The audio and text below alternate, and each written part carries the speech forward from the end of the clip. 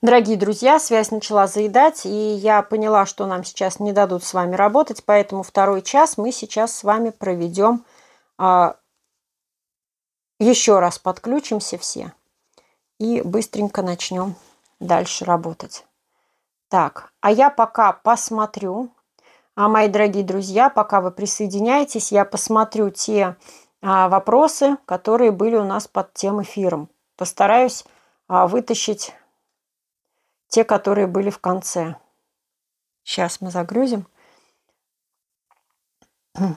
Так. А, Татьяна Куплинова. А, про, про карманы я ответила. Ну, давайте сейчас немножечко мы присоединимся. А, у нас пока 42 человека. Сейчас придут те, кто, а, те, кто не дошел. Кстати, я не вижу, как связь. Я попробую сейчас на другом гаджете еще поставить посмотреть, как у нас связь с вами. Так.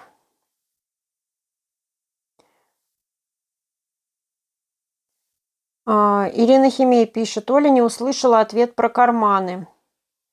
А про карманы а, ответ был такой, что смысла нет их делать, потому что нет смысла делать а, такой э, урок, потому что каждый будет делать разные карманы. Вот, вот так вот у меня был ответ на, про карманы. Так.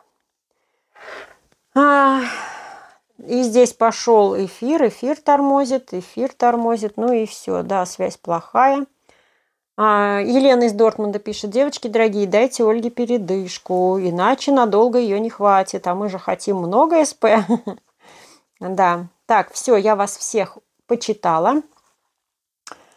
Сейчас я снова войду в эфир. Э, здесь я выключусь. Все. И будем... Да, да, связь пошла, девочки пишут. Про карманы э, еще раз скажу. Давайте про карманы. А, карманов бывает много разных. Э, бывают накладные, бывают в шве карманы. Карманы бывают у нас как сказать, какие? Кенгуру, э, цельновязанные, очень-очень много. Я не вижу смысла по всем карманам делать теоретическое видео, потому что когда это не связь наладилась, это мы с вами эфир э, эфир перезапустили, девочки. Связь не наладилась, там она так и зависла. А, сохранила я э, видео и Вроде бы как оно сохранилось. Сейчас у нас второй эфир, вторая часть эфира. Так что да. Ирина, Ирина. Ольга, в укороченных рядах разворот на каждой петле. Как провязать правильно? Так же, как и не на каждой петле. Абсолютно. Что значит провязать правильно? Мне непонятно это словосочетание а, в данном контексте – вы выбираете э, метод, с помощью которого вы делаете разворотные петли. И неважно, делаете вы их в каждой петле или через петлю, или в каждой пятой петле, они делаются абсолютно одинаково. Если вы потом выходите на круговое вязание, то последняя петля, которая вам попадается, она, как правило, с правой стороны, то есть укороченные ряды вот здесь, и вот с этой стороны будет у вас петля. А, последняя, ее провязывают немножечко другим способом. А так все остальные петли вяжутся к выбранным вами способом. А, Светлана Черных. Оля, образец обязательно вязать тем же рисунком, что и изделие? Обязательно, настоятельно. Не то, что даже рекомендую, а требую, чтобы образец вязался тем узором, которым будете вязать полотно.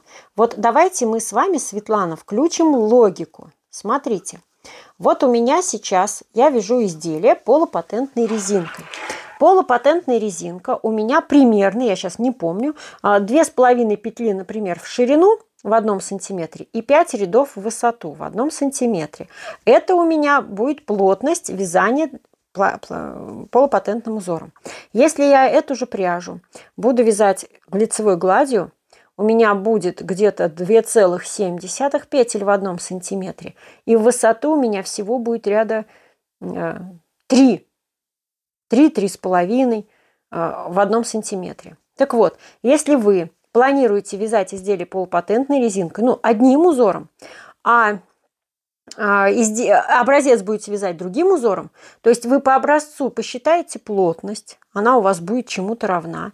А потом, когда вы рассчитаете на все изделие, изделие начнете вязать другим образцом, у вас изделие станет абсолютно другое и по ширине, и по высоте, и по каким-то вашим другим параметрам. Оно просто, ну, вы просто свяжете другое изделие, ошибочное, неправильное.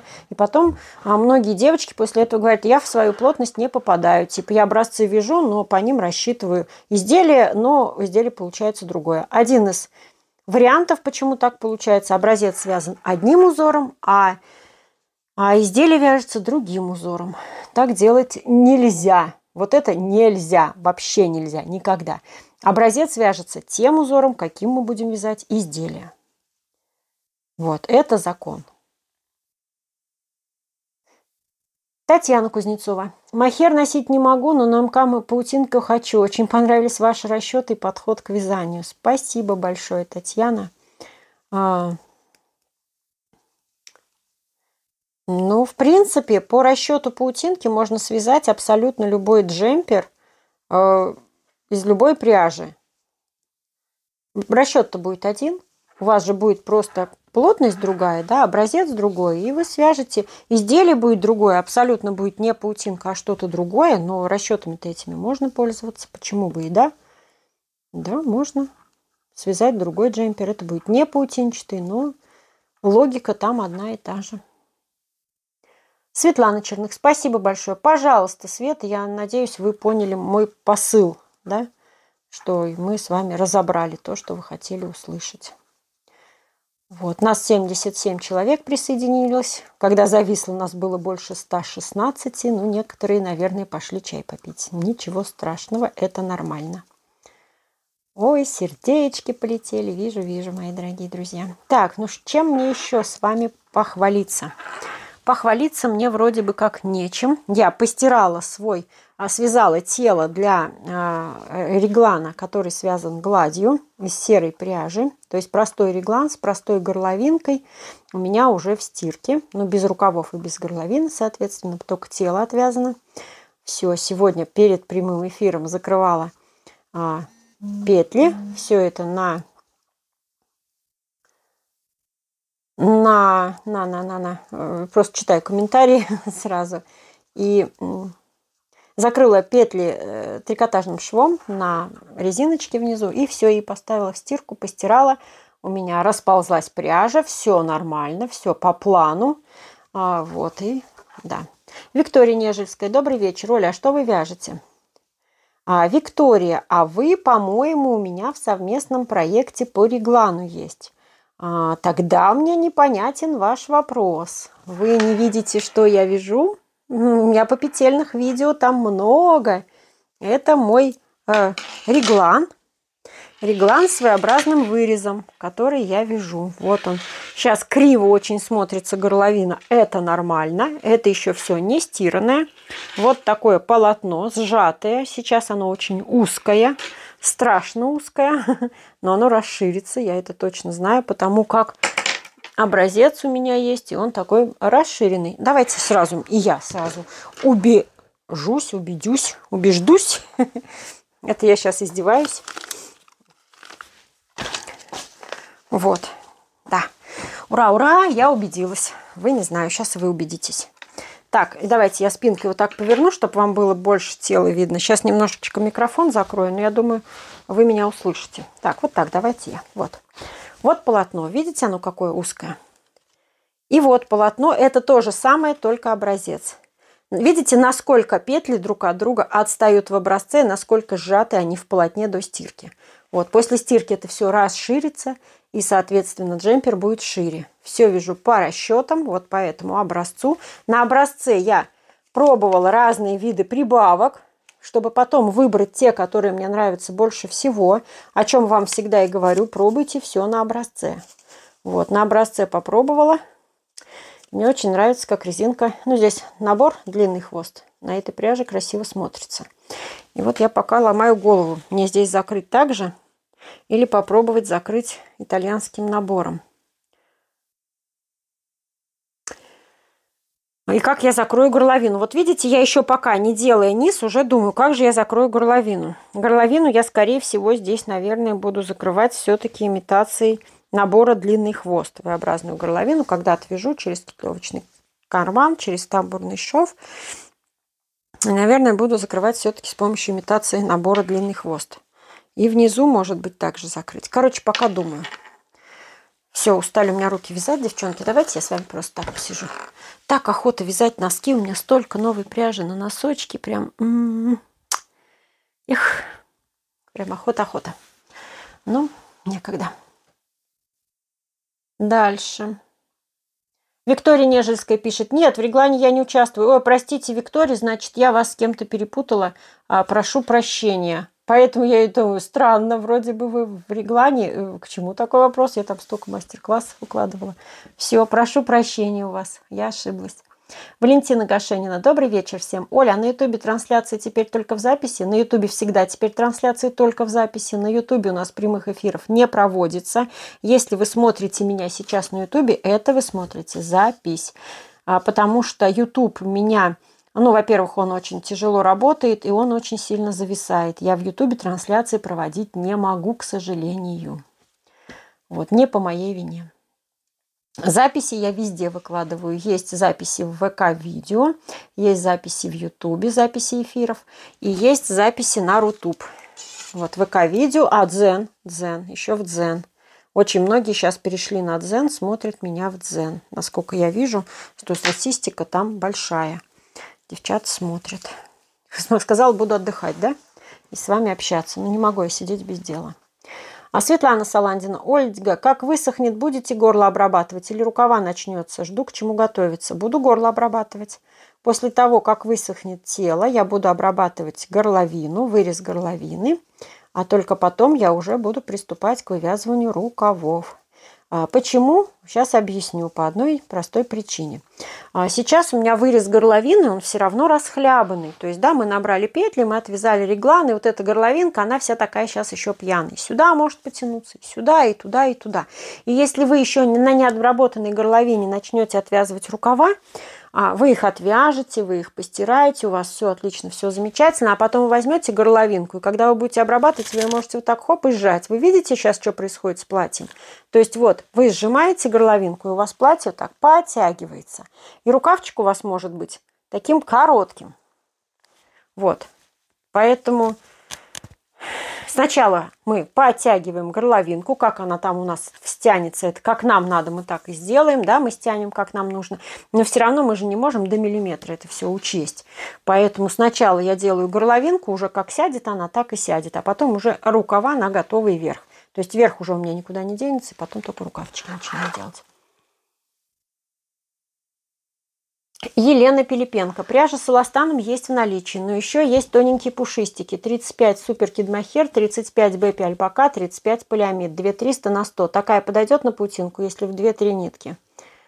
А, в две нити подойдет. В одну нить подойдет. Я бы попробовала образец на одной нитке. В одну нить на спицах 3 миллиметра, например. Мне кажется, подойдет. Я не вижу, конечно, вспушенная она у вас или нет. Скорее всего, вспушенная, да. Вы пишете, что есть пушистики, значит, она пушистик. Вот. Короче, Елена, вот вам задание. задание. Ой, люблю давать задания, да. А, свяжите образец с пряжей с эластаном и свяжите образец из вот этой пряжи на 2300 на 100 грамм. Свяжите в одну нить на спицах 3 миллиметра. Это я так на бум, я не вижу вашей пряжи, да. И свяжите а, в две нити из этой пряжи и посмотрите, какая, э, какой, а, ну, что получится. Посмотрите по итогу, что получится по образцам. Если интересно, можете в телеграм-канал кинуть. Мне тоже очень интересно, а, как, как и что у вас получится. И очень интересно видеть бы вот эти вот побинки. Если у вас есть такое желание, можете кинуть в телеграм-канал, в телеграм-чат, э, в наш. У меня там два, кстати, чата, пока оба работающие. Не знаю, когда закрою. Я обещала с 1 ноября закрыть. Теперь не хочу с 1 ноября. Там такая жизнь идет. Девчонки общаются. Мне, как всегда, жалко. Поэтому пока не закрываю чат, пока общайтесь в двух чатах. Хотите чат Куруновск называется, хотите Ольга Курунова. В любом чате пока общаться можно. Заранее скажу, если буду закрывать какой-то. А вот. Ирина Химей. Оля, а на вэшке тоже сначала горловину будем обрабатывать, а рукава потом? Да, думаю, что да. Мне такой, если все пойдет так, как мне, э, ну, как получится, то да, сначала на вэшке обрабатываем V-образную горловину, а потом отвязываем рукава. Во-первых, это проще. А, когда у вас полностью все изделие готово, оно же еще тяжелее будет по размеру, по весу. А когда у вас сейчас только тело, оно у вас полегче, и горловину крутить будет легче туда-сюда, это полотно, да? Оно будет не такое тяжелое, поэтому лучше, да, сначала горловину, потом рукава. Ольга Владимировна. Добрый вечер, Оля. Ну и что ж вы с нами сделали? Теперь, когда вижу плечевое вязаное изделие, будь то в фильме, в интернете и так далее, глубокий анализ неизбежен. Есть ли скос плеча, Вывязана ли головка рукава, выточки, пельмень под мышкой, росток и понеслось. Спасибо вам огромное. Супер. А скажите, сейчас тяжело живется, правда? Вот когда я сама также, когда не знала вот этого всего, я просто э, э, визуализировала изделие по плану нравится цвет, не нравится, нравится модель, не нравится, да, там вот ну, нравится, не нравится, типа модель, цвет, ну что еще, пряжа, фактура, все, Теперь тоже, я тоже этому училась, училась у разных блогеров, так сказать. У одного схватишь, у другого схватишь. Ну, так же, как и вы. Вы же тоже у разных блогеров все ищете информацию, ну, а, пользуетесь. Это нормально, это классно. Но теперь вот, э, когда ты вот с этим живешь, уже с этим багажом знаний, на самом деле уже такой смотришь, Блин, да. Или к тебе, ко мне подходят девочки там на работе. Вот сегодня тоже девочка подошла, одна говорит, Оля, хочу связать изделие из травки, хочу чем вязать, спицами, крючком, ты-ты-ты. Как... Я говорю, какая модель? Ну, просто из травки. Я говорю, модель какая? Ну, просто из травки. Какая модель? Вточной рукав, спущенное плечо. Что ты хочешь? Без разницы, вот хочу из травки. Хорошо, ладно. Ну, это, я говорю, ну, из травки просто вязать, берешь и платочкой вяжешь. В смысле, просто лицевыми петлями, что ли? Я говорю, ну да.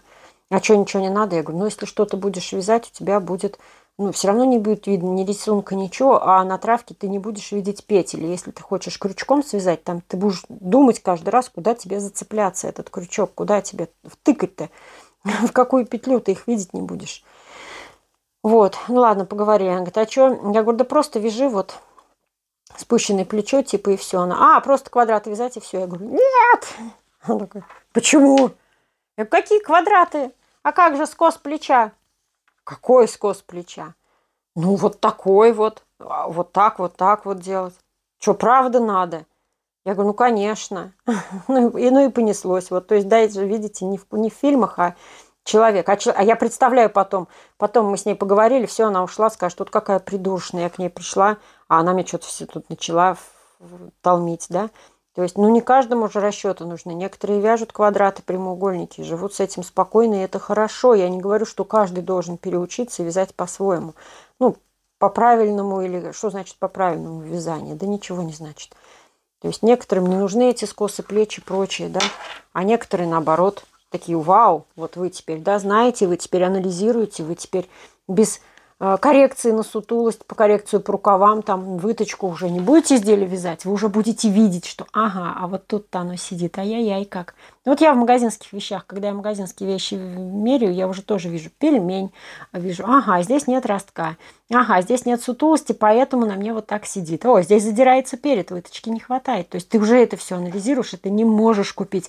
Это то же самое, когда ты умеешь шить, ты не можешь купить шитые готовые вещи. Вот я, для меня это проблема большая, хотя я шью посред, посредственно только для себя, а я ходила на курсы кройки шитья, кое-какие правила есть тоже, да, и поэтому я не могу приобрести изделия, а, я очень много капризничаю, когда приобретаю, и очень счастлива, если я что-то приобретаю вообще. Как правило, я хожу-хожу, мне, мне некогда шить, вы понимаете, я вся в вязании. Вот, и э, хожу-хожу, ищу, ищу себе брюки. Юбки я вообще уже не знаю, когда последний раз покупала, у меня все шитые. Брюки хочу, ну, красиво, вот все классно, все, они смотрятся офигенно. Надеваю на себя, блин. Только подпоясалась и за сеном поехала. И любые брюки так. И такая, ой, жесть, ой, нет. И вот муж со мной мучается, мучается, потом говорит, поехали в магазин ткани. Я говорю, да. Все, и мы едем в магазин ткани, приобретаем ткань, она потом лежит у меня в шкафу и ждет своего часа, когда же я сошью. Вот так у меня летние брюки стоя сидят. То есть это то же самое, условно, ладно, я не буду сейчас про шитье. Вот, то же самое, что и вязание. Если ты умеешь шить, ты не можешь купить себе готовую вещь. И если ты умеешь вязать, ты тоже не, не можешь купить себе теперь вещи трикотажные, потому что ты видишь. Косяк. Ну, а в магазине они же связаны по стандартам, они же не могут учитывать мою коррекцию на сутулость, мою выточку, там, мою мою, мою, мою, мою, да, они не могут это учитывать, они вяжут по стандартам. А стандартный у нас кто? Никто. Ни одного человека, наверное, в мире стандартного нет. Но есть люди условно подходящие под стандарт, а всем остальным что делать? Вот и бедные люди берут и приобретают эти вещи, и потом говорят, что вяжут только бабушки. Ага, бабушки. За такие денежки, за которые мы пряжу с вами покупаем, да, бабушки, ну нет, мы же тоже бабушки, да, и мы вяжем, но это очень дорогое удовольствие, как бы кому ни казалось. То же самое, что и шить, между прочим. Так что да, я с вами полностью солидарна, Ольга Владимировна. Елена Пилипенко, хорошо, сделаю. Огромное спасибо, пожалуйста. Ирина Химей, и психологически легче. Закончим с китлевкой. Рукава будут просто песня. Да, Понимаете, а горловина, вот эта вот зона декольте, это самая видная зона. Ее нужно идеально исполнить, идеально, просто вот, чтобы не прикопаться, потому что люди, когда на вас смотрят, они смотрят сюда. Хотят они этого или не хотят, они все равно сюда смотрят. любой косяк в этой области, он сразу заметен, и сразу изделие может быть отлично связано, ну, ну какой-то маленький косячок в этой области, и все, и, и впечатление сразу, ну, да, красиво, но можно было лучше. Поэтому вот, да, сначала мы отвязываем самые тяжелые, а потом просто рукава так хоба и на одном дыхании свяжем. Светлана Саландина. Оля, вы всегда стираете тело, когда отвязали, или можно постирать, когда все изделие отвязано? Я всегда стираю тело, когда отвязала. Неважно, это реглан, либо это спущенное плечо, либо это вточной рукав. Я всегда делаю вот этот трикотажный шов по, бок, по, по верху, то есть я вяжу перед, вяжу спинку, делаю трикотажный шов и стираю изделие. Потом я обрабатываю горловину и, и вяжу рукава. После того, как отвяжу рукава, еще раз стираю все изделие. Ну, рукава, горловину я отвязываю, то есть горловину отвязала, уже не стираю.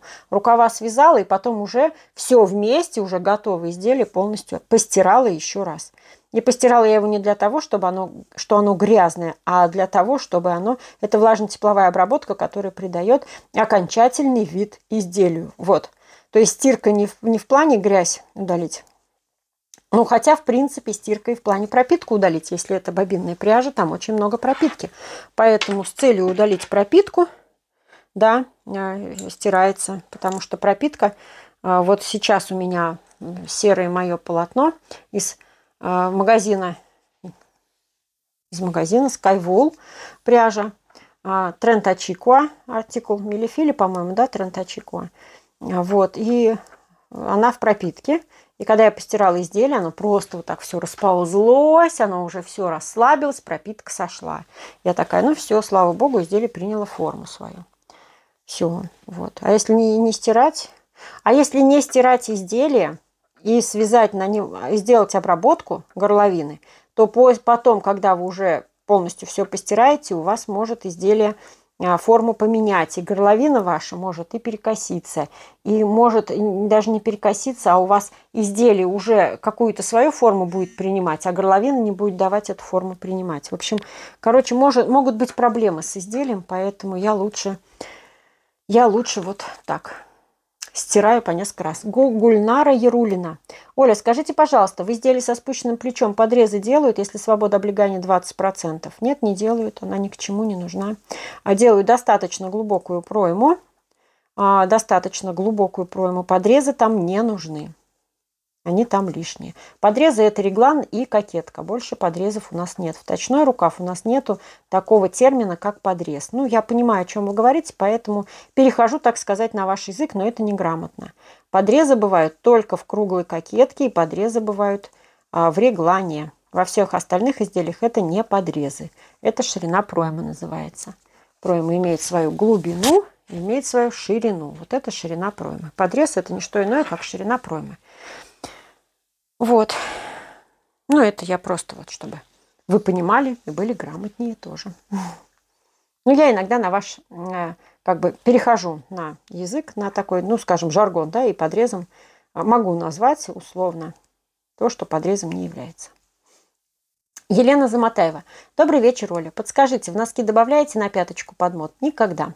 Последнее время никогда. Раньше, когда я вязала из деревенской пряжи, ну, то есть бабушка моя пряла пряжу сама а, в деревне, да, из овечек собственных, а, вот, в общем, и я из этой пряжи, когда вязала носки, конечно, там стопроцентная шерсть, там просто однозначно в подмот нужен был, иначе носки неделю не служили, они протирались. Стопроцентная шерсть протирается на здрасте. А сейчас я носки вяжу из специальной носочной пряжи, из пряжи в составе имеющей, ну вот возьму первую попавшуюся, пряжу, да, это в составе 75% шерсть, 25 полиамид. А в эту пряжу уже ничего добавлять не надо, ни на пятку, ни на мысок, никуда в другие места. То есть здесь уже полиамид добавлен в самой пряже. Здесь 75% пряжи, э, шерсти, 25% полиамид. Этого состава достаточно. Здесь уже добавили за вас вот эту добавку на пятку. И она будет идти по всему носку. Ничего не добавляю. Если вы пользуетесь не носочной пряжей, а какой-то другой пряжей, в которой в составе стопроцентная шерсть или шерсть в составе с акрилом, то там надо с акрилом, то там надо смотреть. Но я в пятки уже не добавляю тысячу лет ничего. Носков вяжу много, дарю много, ношу много, всегда в носках и зимой, и летом. А, последние несколько лет раньше вообще босиком ходила по жизни, всегда. Теперь нет, ну, так получается. Вот, поэтому сама тестирую носки, и у меня на пяточке носки, носки не рвутся. Вот. Вообще из этой вот пряжи, которая носочная пряжа, носочный сегмент пряжи, из нее носки у меня, в частности, не рвутся. Вот. А я их просто уже выкидываю от того, что они вид теряют. Я Ализе выкинула пару, потому что они достаточно быстро потеряли вид. Опал я ношу, стираю, ношу. И я сейчас э, про, говорю про то, что потеряли вид, это не означает то, что они э, закатались. Если носки закатываются, я их чищу, это я не считаю, что потеряли вид. А, потеряли вид у меня Ализе Супервош. А, нет, Ализе Артисан. У меня потерял вид зелененькие такие. А, он стал какой-то, подошва стала замасленная прям замасленную. Я их не берегла. Это носки у меня, ну так как пряжа достаточно бюджетная, а, эти носки у меня были в ходу даже в огороде. То есть я в калоши, ну, надевала носки, потом в калоши, и вот это вот все в калоши терла, а где грязь попадает в калошу, да, и натирает носки, у тебя втирается грязь в носки, и потом ты ее не можешь никаким образом оттуда выбить. И они становятся как бы маслом промасленные, вот вся подошва. И я такие носки не люблю носить, поэтому я их выкидываю. Вот выкинула только одну пару вот этих вот артисанов. И это не говорит о том, что артисан плохой, просто то, что эта пряжа бюджетная, поэтому я ее носила на огород. Если бы я опал носила на огород, я не знаю, как бы было с пряжей. Может быть, то же самое бы случилось, да? То есть здесь не, нету сравнения пряжи. Я не могу сравнить пряжу. Ирина Химей. А, вот еще вспомнила вопрос. Мы-то бобинную пряжу стираем, на фабрике они ее стирают? Да, конечно, стирают. Конечно, стирают. Они после отвязывания изделий провязывают, всегда проводят ВТО изделий. То есть на фабрике, на трикотажной фабрике, где вяжут изделия, а, пропитка, в принципе, бобинные пряжи существуют как раз не для нас с вами, чтобы мы руками вязали, а для производства, да, чтобы они вязали на машинах. И бобинную пряжу для этого и пропитывают, чтобы она через машину проходила хорошо и гладко, чтобы нигде не зацеплялась своим пушком. Поэтому ее смазывают, так сказать, условным маслом, ну или каким-нибудь таким маслянистым составом. А поэтому иногда девочки, которые неопытные в бобинной пряже, а, у нас слушаются наших блогерских, так сказать, как сказать, охов, ахов, вздохов от того, какая та или иная пряжа шикарная и класснючая, как мы ее обожаем и любим, а, берут себе бобинку, покупают, потом смотрят на эту бобинку, там а, дерюга, дерюга и пряжа, они такие, блин, и что тут хорошего? Я вон возьму Ализе Лана Голд, она гораздо мягче, нежнее, приятнее, да? А нет, а вы свяжите образец и постирайте его, и чудо произойдет у вас на руках, и вы такие, вау, вот это пряжа. То есть пропитка сходит, и пряжа меняет свои свойства напрочь. Пропитку делают именно для того, чтобы на машинке ее стирать. И потом, когда отвязывают изделие а, в производстве, ее, это изделие стирают, то есть пропитку эту смывают. Ее смывают не в бобинах, ее смывают уже в готовых изделиях. Вот, да, смывают. Спасибо, Оля, поняла. Пожалуйста, Лена. Елена из Дортмунда. Оля, извини, реакцию на мой комментарий не услышала. Дочь звонила, а запись... А в записи послушаю. А, Лен, а я что-то не помню, какой твой комментарий был. Прости, пожалуйста. Я тут уже столько заболталась, что я не помню, кто и что писал. Поэтому посмотришь потом в записи. Елена Замотаева. Первый раз вязала по вашему мастер-классу. Очень довольна осталась результатом. Ой, здорово. Спасибо вам большое за обратную связь. Ольга, Оля, здравствуйте. Вы как-то говорили, что регги на сочный не зашла. Почему? Я э, все в видео сняла. У меня есть два э, видео, два момента. А, то есть регия и регия спустя, по-моему, год носки, да? Я регию сравнивала с Ализе, по-моему. С Ализе же я ее сравнивала. Ну, потому что чисто визуально я не почувствовала большой разницы. Ну, посмотрите то видео, пересмотрите его, пожалуйста. Оно в двух частях. Оно свя... сначала видео снято, когда я отвязала изделие, то есть я отвязала два носка, один из артисана, по-моему, я вязала, а второй из реги.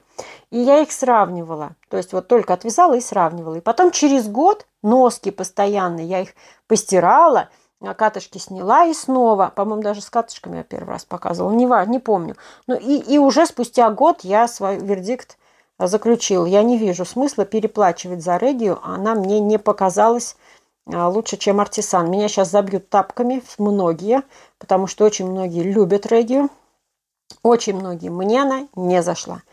Вот. Э, но это не говорит о том, что мне не зашла вся дорогая пряжа. Мне зашел опал, Опал мне очень нравится. То есть это тоже достаточно дорогая серия. Мне зашла Лана Гросса. Просто зашла вот в восторг и великолепие Лана Гросса. Ватер, какая-то водяная серия. На бобинках. Вот на бобинках, как бобинная пряжа она сделана. Очень зашла мне Лана Гросса. А Лана Гросса твит мне зашел. Потом мне зашел...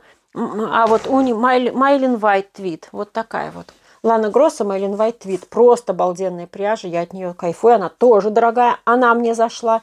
И есть разница между ней. А вот Регия, мне она не показалась какой-то шерстистой. Мне она показалась какой-то... Не знаю. Не знаю, почему. Я еще раз повторюсь, у Реги очень много поклонников. Ее многие любят. Мне она субъективно не зашла. Как не зашла? Нормальной пряжа ну, для меня она показалась не лучше артисан. Вот и все. Ну, посмотрите видео, я там более подробно это рассказываю.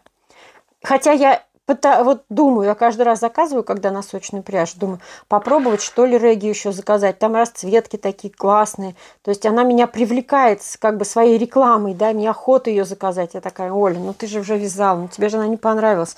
А потом думаю, ну, может быть, она мне просто не понравилась. Вот именно здесь еще, может, расцветка сыграла роль, хотя там синие полоски мои любимые. Неважно, да. Может быть, ну, настроение не то, хотя я через год еще потом сняла видео. Я не знаю, почему. А, ну, в общем, да. В общем, да. Пока. Вот.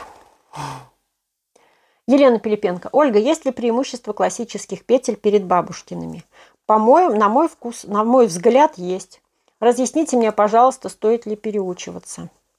А, я не знаю, стоит ли вам переучиваться или не стоит, это вам решать. На мой взгляд, э, вот, кстати, я вяжу классическими петлями. Видите, как ровно и красиво ложится резинка. Резинка один на один бабушкиными петлями, там просто туши свет, что получается. Она просто пляшет. А поэтому вот вам, пожалуйста. Это еще до стирки полотно. После стирки там вообще великолепие великолепное. Вот оно. Видите, как классно смотрится резиночка. Вот. А потом бабушкины петли, если вы вяжете узорами по книгам, по разным-разным учебникам, Раньше, раньше, во всяком случае, сейчас, ладно, говорят, за левую, за правую стенку, да, провязываем, или с наклоном влево и вправо, а раньше-то всегда говорили две вместе за переднюю стенку, две вместе за заднюю стенку. И везде такие обозначения были во всех книгах. Вот. И если при вязании бабушкиными петлями пользоваться этой трактовкой а, условных обозначений, можно ошибиться и связать не то изделие, которое получится в итоге совсем другим изделием. То есть, на мой взгляд, переучиться стоит. Полотно равнее будет. Мне кажется, стоит. А вам стоит или не стоит, это вам решать. Я не могу сказать. Одному человеку стоит, а второму, ну, типа, может, вообще даже не надо. Вяжет и вяжет человек в удовольствие. Елена Личинская. Здравствуйте, хочу купить мастер-класс на реглан. Здравствуйте. А мастер-класс на реглан пока не продается. Не знаю, будет ли продаваться. Пока нет. Елена из Дортмунда. Чтобы тебе отдыхать давали. А, ну, я просто поулыбалась, Лена, все, я ничего не ответила на твой комментарий. А Елена из Дортмунда. Лайнес Дунорт вроде бы тоже понравилась тебе и Happy Fit. Ну да, вот я говорю, что Лайнес Дунорт мне очень понравилась. Happy Fit, Happy Fit. Майлин Вайт помню, Happy Fit. Happy Fit не помню. Happy Fit это, по-моему, у нас была Газал, да? Happy Fit. Да, она, кстати, по-моему, снята с производства. А, но я ее не пробовала в носке, я ее подарила. Из Happy Fit носки я подарила. А Лайнес Дунорт мне понравилась. Очень понравилась. Очень. При очень. Ну, там и цвета мои любимые. А, Марина Григорьева. Оказывается, регги нужно смотреть, где произведена. Есть Италия, есть Германия, разная толщина. А, может быть, может быть, может быть и разные, тогда и, тогда и свойства нитки может быть разные. Может быть, я даже понятия не имею, где была произведена та реги, которая мне не понравилась.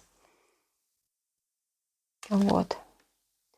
Виктория Нежельская. Я вот не знаю, какими петлями я вяжу, классикой или бабушкиными. А посмотрите, пожалуйста, Виктория, мое видео, которое называется э, в, в, плейлисте вязальной полезности есть видео, которое называется «Ровная лицевая гладь». По-моему, там я показывала лицевые изнаночные петли, как вяжутся. И вы потому, как увидите, как я рассказываю, вы поймете, классикой вы вяжете или бабушкиным способом. Еще, вот вы сейчас вяжете, вот вяжете, да, и у вас в лицевом ряду, ну, вообще, вот вы вяжете и видите лицевые петли. Если не в круговую вяжете, а обратно поворотными рядами. Вот посмотрите, петли, вот вы вяжете, вот остановились, вот у вас лицевая петля. Вот у нее первая стенка правая или левая стоит. Если у вас правая стенка петли стоит за спицей, и вы ее вяжете за заднюю стенку, то вы вяжете бабушкиным способом. А если вот вы вяжете, и у вас лицевая петля стоит правой стенкой перед спицей, и вы вяжете ее обычной лицевой, то вы вяжете классическим способом. Вот если как-то так. Спасибо, посмотрю обязательно. Посмотрите, Виктория. Елена Лещинская. А совместники у вас проходят? Да, совместники у меня проходят. Да совместник у меня Сейчас у меня идет совместник по пола, спущенное плечо, и совместник по реглану. Скоро, в скором будущем мы будем с вами, у нас будет совместник по паутинкам. То есть мы будем вязать из тонкой пряжи толстыми спицами паутинчатые изделия. Скоро будет новый совместный проект, когда, пока не знаю. Сабина Сальная. Олечка, здравствуйте. Прошу вашего совета. Хочу связать себе базовый жилет. Есть небольшие навыки и вязание, и построение выкройки немного, и шитья. Вот прям заморочилась, ищу себе базовые построения выкройки жилета, чтобы по нему проще было и быстрее связать его. Мне кажется, так удобнее. Сделал выкройку, и можно несколько моделей из разной толщины пряжи с разной свободой облегания. Но главное на просторах Ютуба идеальное объяснение не нашла. Подвязанные изделия. Что можете посоветовать, Оля? Я выкройки на вязаные изделия не вяжу, не делаю, не, не рисую, не вырезаю, потому что не вижу в этом смысла. Я делаю просто рисунки того изделия, которое я буду вязать. Я рассчитываю все по петлям. И у меня нет такого, что на, а, на несколько изделий будет один и тот же рисунок. Даже если я буду вязать одно и то же изделие, но из разной пряжи, у меня будет... У меня из одной этой пряжи миллион, миллион а, разных. Вот, например, V-образный вот V-образный джемпер. Я рисую вот такой технический рисунок. Я смотрю, какая у меня будет ширина рукава, ширина груди, ширина горловины. А потом я, ну, мерки все, да, соответственно, мерки мои указаны. А потом я дальше начинаю расчет. Сейчас я вам все покажу. Сколько у меня на один джемпер всегда идет бумаги. Ну, вот, наверное, первый листок. Вот. Вот у меня первый. Я начинаю расчет. Это у меня был... Это у меня был... Сейчас кто на реглане, тот вздрогнет. Вот первый расчет, самое начало. Ой, это уже даже не самое начало. Подождите, сейчас найду начало. Ну, короче, так, где у меня первый? Ну, ладно, в общем, вот, наверное, начало. Вот у меня продолжение. Это я дальше уже делаю. Это все один джемпер. Вот я рисую еще дальше продолжение. Вот я рисую еще дальше продолжение. Ну, может быть, сейчас не совсем по порядку показываю, но это все на один джемпер. Вот. И вот итоговая. Итог, по-моему, здесь, да, у меня? Нет, это еще даже не итог. Итог вот он. И вот такое у меня все. Это все расчеты. Поэтому зачем мне нужно выкройка в натуральную величину. Натуральную величину я выкройку делаю. Это вот только, это, кстати, только расчет. Потом дальше у меня пошла сутулость. Я ее тоже рассчитала. Потом, если мне нужен силуэт, я его тоже рассчитала отдельно. Потом мне нужна выточка на грудь, я ее рассчитала. И потом я еще рассчитала, ну здесь нету, и еще рассчитала, э, как это называется, коррекцию по рукавам. Вот это все у меня один джемпер. А проще, проще это не ко мне, девочки. Я и простота, я наоборот заморачиваюсь. Я заморачиваюсь так, чтобы в итоге получить изделие, ну, плюс-минус то, которое я заказывала. Чтобы у меня по ширине разница была а, в 1-2 сантиметра, не больше. Вот здесь, то есть я планирую одну, и потом у меня после стирки может немножечко, чуть-чуть разбухнуть, хотя образцы тоже после стирки, но здесь еще тяжесть полотна играет роль, поэтому полотно может немножечко еще как-то податься в большом. Вот, вот формат и вот формат в этом формате, оно немножечко растягивается. Ну там где-то растягивается, где-то сжимается, где-то еще что-то. Но уже незначительно.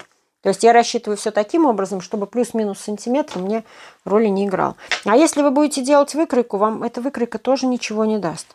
Абсолютно. И неважно, жилет это или изделие, или еще что-то. Я и жилет буду также замороченно делать. Вы думаете, жилет у меня будет по-другому? Ну, жилет может быть попроще. Но вот вы говорите простую выкройку. А выкройку вот опять. Простая выкройка жилета. Ну, ну жилет бывает с точным рукавом. Жилет бывает спущенное плечо. Жилет бывает цельновязанный сверху вниз. Это все простые модели. Ну и представляете, вот я уже три сейчас, сейчас просто вот так вот. А если еще посидеть, я вам с десяток скажу, какими и можно связать жилет. И все это будет жилет. И, и все простой жилет. А, поэтому как-то...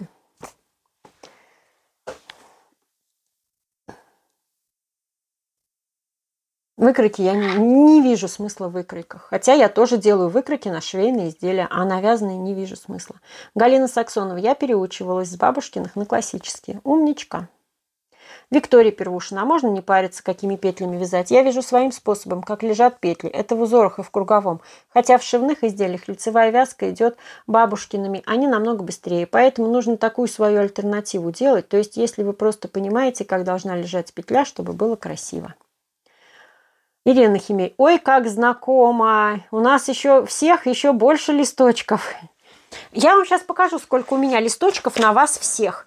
У меня просто вот такая тяжелая папка, где досье на каждого участника моего совместного проекта по реглану. Целое досье. Вот сейчас я вам покажу. Вот посмотрите. Вот, пожалуйста.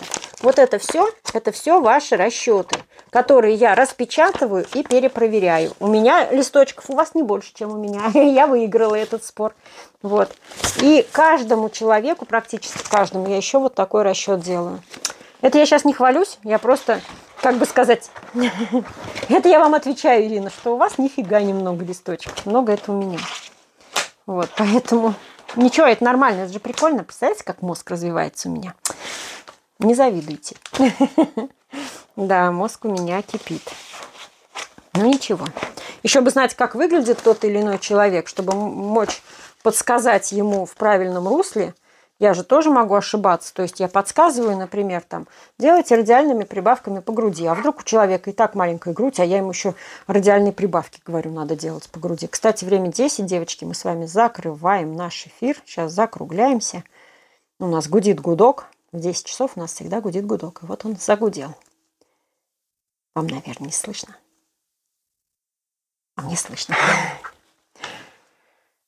А, Вика Новикова, поэтому мне страшно. А не надо ничего бояться, Вика, абсолютно не надо. Пусть вы испишете всю тетрадку своими расчетами. Так это же здорово. Не надо бояться, не надо. Волков боятся, в лес не ходить. А вы скажите, чего вы хотите, научиться или бояться? Если вы хотите бояться, то вы можете бояться. А если вы хотите научиться, то вам запрещено бояться. Вам надо действовать. Елена Лещинская, научите тоже рассчитывать. Э, научить я могу показать, как я это делаю. А, ну, надо было на совместный проект идти. Сейчас уже все, на совместный проект у нас запись закрыта. Пока да.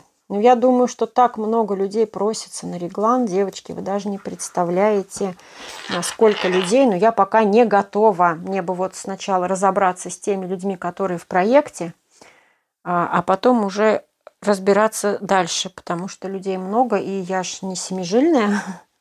Как бы это не было грустно некоторым, но я ж не могу Поэтому кто успел в проект? Я две недели зазывала людей, я две недели на всех соцсетях. Девочки, приходите, девочки, приходите. Потом столько девочек пришло, что я уже хотела сказать, девочки, не приходите больше. Но все равно всех брала, потому что я обещала две недели. Я две недели, обещание свое я сдерживаю. Поэтому вот. Ни одному не отказала. А больше не могу взять пока. Извините. Ирина Химей, Оля, вы делаете выкройку на вточной рукав. Да, я сказала, я это сказала, что я делаю выкройку только на вточной рукав, и то не всегда, но на вточной рукав я выкройку делаю, да, да. Вы правы, Ирина. Вточной рукав я очень часто могу сделать выкройку, потому что мне кажется так проще. С вточным рукавом, со всем остальным это не работает. Да. Елена из Дортмунда. Вика, если не попробуете, то не поймете, страшно или нет. Ирина Архипова, гигантский труд. Девочки, даже спорить не буду, это тяжело, но ничего, это, это классно. Я, сейчас я не жалуюсь абсолютно. А то, может, некоторые подумают, что я ною. Нечего тут ныть. Ты деньги зарабатываешь. Ага. Поэтому я их зарабатываю, честно, потом и трудом.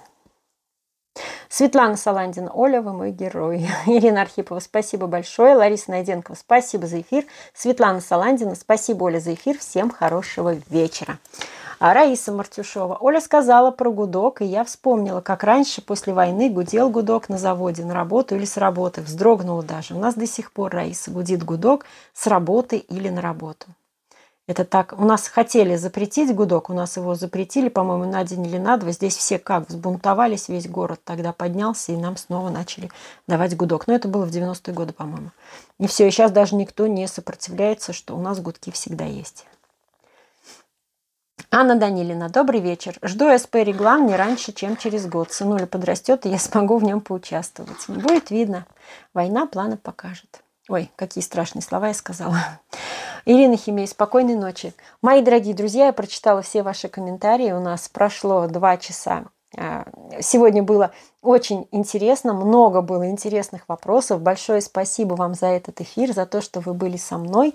А, и Пусть у вас все будет хорошо, отличного вам настроения, мирного неба, благополучия, спокойствия и огромного здоровья. Берегите себя и свои семьи. Ну а я с вами буду прощаться. До скорых встреч. Пока-пока.